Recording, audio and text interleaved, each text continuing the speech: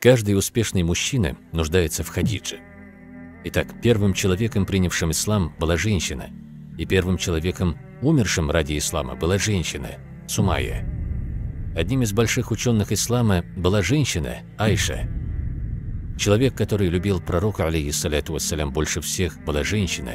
Кто же она? Фатима. Человек, который сделал большое пожертвование в исламе за один день, была женщина Ханза. Одним из величайших воинов в истории ислама была женщина Ауля бинт Аль-Азвар.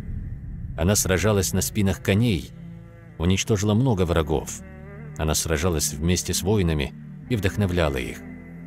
Эта лекция, иншаллах, посвящается для каждой нашей сестры, которая любит Аллаха Святого Велик и его посланника, алейхиссалату вассалям, которая живет, защищая Коран и Сунну, и которая живет ради довольства Всевышнего.